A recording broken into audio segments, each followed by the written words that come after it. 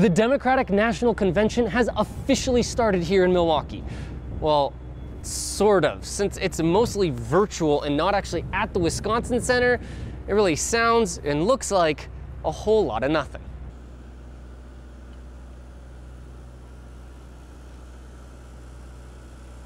What's most disappointing is the city made a, a big facelift and nobody can see it. Mm-hmm. That's so ew, shameful. There wasn't much for Bill Spielberg from Milwaukee to take photos of outside the Wisconsin Center. He came to document the historic occasion, but instead got this. Really, the only people inside the Wisconsin Center were production crews making sure live streams of caucus panels and the primetime speeches went uninterrupted. Outside was just police officers, a few people taking photos, and a very small group of protesters although there was a Bulgarian and German news outlet there.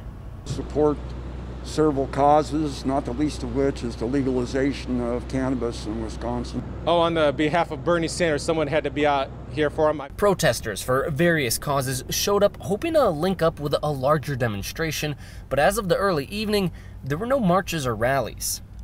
But a low turnout isn't stopping these protesters, some who came from Maryland and Ohio, from spreading their message. Both of these groups said they plan to be here the entire convention. A one person protest is just as good as a million man protest. Outside the Wisconsin Center, it looked a bit like a ghost town, and it's possible that's what it'll look like for the rest of the convention. In Milwaukee, James Groh, TMJ4 News.